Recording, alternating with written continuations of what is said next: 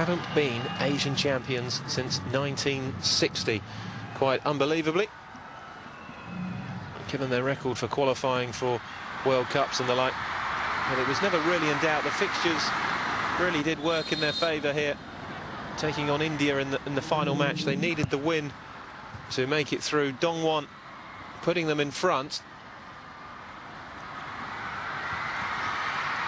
And then the second goal tucked away by Ja-cheol.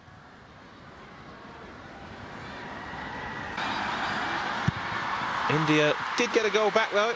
One of their best players of the competition, Chhetri, tucking away the penalty after 12 minutes. I mean, they have been a bit out of their depth, India, but you have to give them credit for the way they've they've set about their matches as well. Yeah, they keep going, Wayne, don't they? It's just just a little bit weak in the back four. They get exposed at times, don't they? And against South Korea Second and everybody else they've played, when they've been exposed, they've got punished. And punished again there by Dongwon. Second goal of the game. Good And finish. that was 4-1. Hammered in by Heung Min, the substitute. The only goal of the second half. Had they managed to score another goal, South Korea,